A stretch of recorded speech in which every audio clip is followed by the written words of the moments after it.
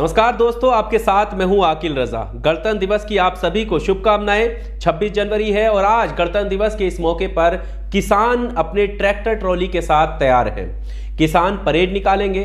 Delhi police ने, प्रशासन ने जो है गाइडलाइंस तैयार की हैं, एक रूट मैप तैयार किया है किसानों के लिए कि वो किस रास्ते से जाएँगे कहाँ कहाँ जाएँगे और कहाँ कहाँ होकर वो वापस अपनी जगह आ जाएँगे।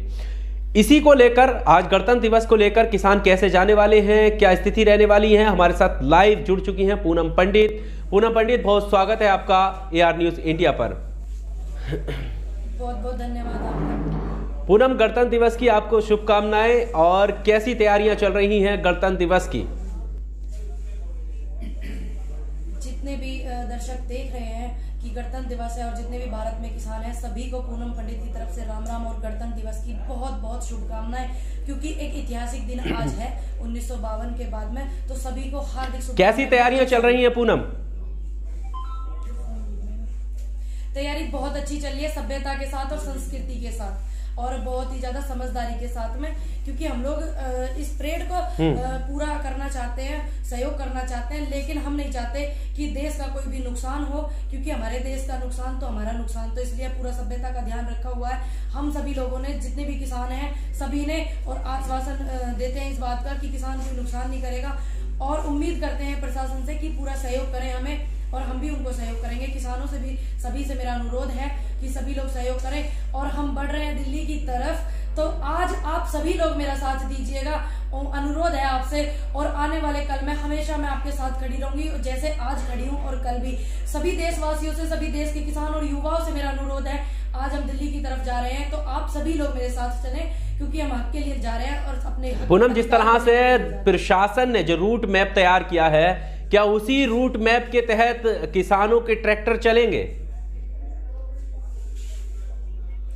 देखिए अभी मैं तो देखिए बहुत छोटी हूँ सभी लोगों से। जैसे सभी लोग हमारे किसान बड़े भाई आधार पे चल रहे हैं उसी के आधार पे हम लोग चलेंगे। कोई मेरे पूनम पंडित के लिए नया रूट अलग से नहीं आएगा ना।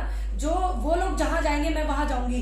ना मैं किसी सरकार के रूट पे जाऊँगी ना मैं किसी के बनाए हुए रूट पे जाऊँगी मैं उस रूट पे जाऊँगी जो किसानों ने क्योंकि पूनम क्योंकि किया दिल्ली पुलिस ने भी ये कहा है कि, कि अगर गाइडलाइंस जो रूट मैप मैप तैयार किया है उसके अलग अगर किसान जाएँगे तो बख्शा नहीं जाएगा। यानी प्रशासन का कहना है कि वो पूरी तरीके से सतर्क हैं और किसी भी एक्शन के मूड में वो बिल्कुल भी परहेज नहीं करेंगे।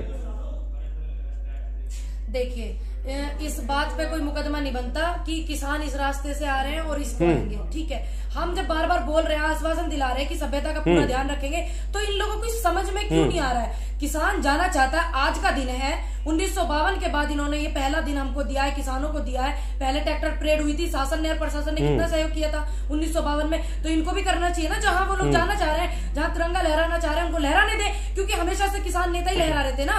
अब की बार ये जितने भी नेता है सत्ता में वो लोग लहरा रहे थे। किसान नहीं लहरा रहे थे तिरंगा। तो अब की बार अच्छा मौका है ना उनको लहराने दे। तो इस बात की व्यवस्था को खराब क्यों करना चाहते हैं? बस मुझे ये समझ नहीं आ रहा है। पूरा सहयोग हम लोग करेंगे और कर भी रहे हैं। आपको पता है इकसठ दिन हो गया आंदोलन का।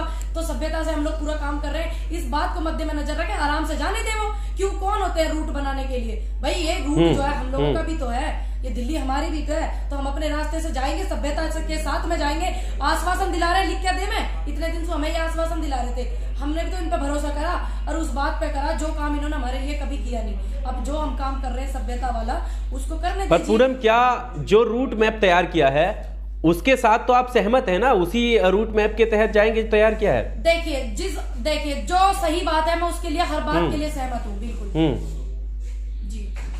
हाँ उसी के चाहे वो किसानों की बात है चाहे वो प्रशासन की बात है मैं सही बात के लिए सहमत हूँ गलत बात के लिए नहीं माफ़ करना मुझे। सही बात यही है ना कि प्रशासन की गाइडलाइंस के तहत चलें आप लोग? क्या लगता है? प्रशासन की तो गाइडलाइंस ये भी थी कि दिल्ली में नाम है प्रशासन की तो गाइडलाइन ये भी थी बॉर्डर पे नाम है प्रशासन की तो ये भी है कि आंदोलन ना करे, प्रशासन की तो ये भी है, आंदोलन खत्म हो जाए। बहुत सी गाइडलाइन है तो उनकी गाइडलाइन पे मैं क्यों चलूँ? क्योंकि जो सच है मैं उस पर चलूँगी सच के आधार पे चलूँगी सभी लोगों को सपोर्ट करूँगी। चलिए उम्मीद करते हैं कि जो ये गणतंत्र दिवस है वो काफ़ी अच्छा हो। एक सवाल और मैं ये कहना चाहता हूँ पूछना चाहता हूँ कि जिस तरह से ये सामने आ रहा था कि डीजल जो है वो नहीं दिया जा रहा है तो क्या आपके ट्रैक्टर जो हैं वो तैयार हैं? डीजल है उनमें परेड के लिए? देखिए ट्रैक्टरों में पहले ही देखिए ट्रैक्टरों में पहले से तेल बहुत है। कोई बात नहीं। अगर वो नहीं देंगे लेकिन अनुरोध करते हैं कि तेल देवे क्योंकि किसानों के सच बात को और हक को ध्यान में रखते हुए अगर वो नहीं देंगे तेल तो ट्रैक्टर में जितना तेल है वो दिल्ली चले जाएँगे। बाकी जहाँ रुकेंगे रुक जाएँगे। ट्रैक्टर अगर वो चाहेंगे हम दिल्ली में रहें तो वो तेल ना देने देंगे। हम्म। अगर वो चाहेंगे कि दिल्ली से वापस आ जाए गणतंत्र दिवस मना करके तो वो तेल दे देंगे खुद ही।